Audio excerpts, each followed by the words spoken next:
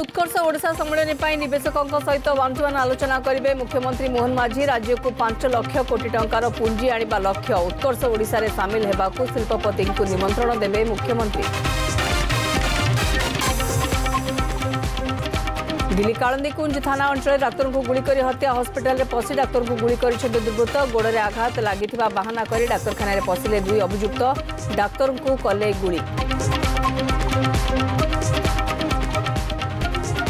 ভরতপুর থানা হঙ্গামা মামলা আজ পাঁচ পুলিশ অধিকারী পলিগ্রাফ পরীক্ষা গুজরাটের অছি ক্রাইমব্রাঞ্চ টিম সমস্ত পলিগ্রাফ টেস্ট পরে নিলম্বিত আইআইসি দীনকৃষ্ণ মিশ্রঙ্কর হব ব্রেন ম্যাপিং এবং narco test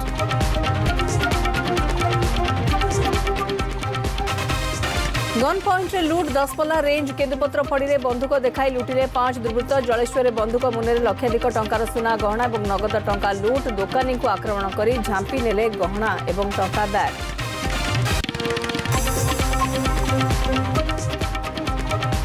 Malkangiri SP Nitesh ବାଦୱାନୀଙ୍କୁ ବିଦାୟୀ ସମ୍ବର୍ଦ୍ଧନା ସୃଷ୍ଟି ହେଲା ଭାବବିହଳ ପରିବେଶ ପରିବାର ଉପରେ ପୁଷ୍ପ ବର୍ଷା କଲେ ଲୋକେ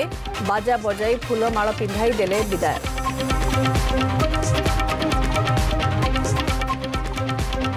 ଆଜି ନବରାତ୍ର ପୂଜା ଚଳଚଞ୍ଚଳ ଦେବୀପୀଠ ମନ୍ତ୍ରପାଠରେ କମ୍ପୁଛି ପରିବେଶ ମାଙ୍କୁ ଦର୍ଶନ କରିବା ପାଇଁ ଦୂରଦୂରାନ୍ତରୁ ଆସୁଛନ୍ତି ବ୍ରତଧାରୀ ଏବଂ ଶ୍ରଦ୍ଧାଳୁ କଟକ ଚଣ୍ଡୀ ମନ୍ଦିରରେ ଜମିଛି